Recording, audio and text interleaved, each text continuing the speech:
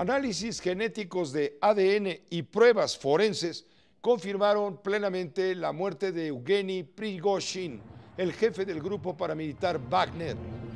El avión donde viajaba se estrelló el miércoles en el norte de Moscú.